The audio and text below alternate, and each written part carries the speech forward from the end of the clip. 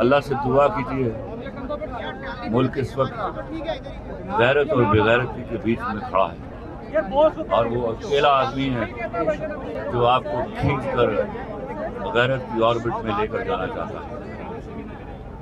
इस वक्त हुकूमतों, निज़ाम हुकूमत और एक दूसरे को फतह करने का वक्त नहीं है, अपनी गैरत को बचाने का वक्त है। बेगैरतों का एक टोला साफ़ नज़र आ रहा है उसके खिलाफ जो खड़ा हो गया है। आज अगर आप उसका साथ छोड़ गए तो याद रखिएगा आपकी अगली कई नस्लें अपने अंदर की गैरत को ढूंढती रहेंगी। सर की पैगाम इमरान खान के लिए अभी आवाम के लिए देना चाहेंगे?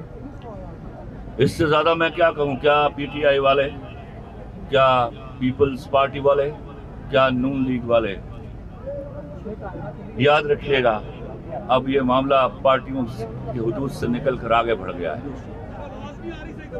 अगर ये माइक पर है। जी जी ये माइक। ये माइक मैं आप सबको बताऊँ क्या पीटीआई वाले और क्या नून लीग वाले और क्या पीपल्स पार्टी वाले सवाल इस वक्त हुकूमतें बचाने का नहीं है अपनी इज़्ज़त और गैरत को बचाने का है। अल्लाह के वास्ते मुड़कर देखिए वही लोग जो कल एक दूसरे से एक, एक दूसरे के पेट फाड़ कर चोरी किए हुए पैसे निकलवाने के दावे करते थे। आज हाथों में हाथ डालकर फिर रहे हैं। ये आपकी आँखों में धूल झोंक रहे हैं।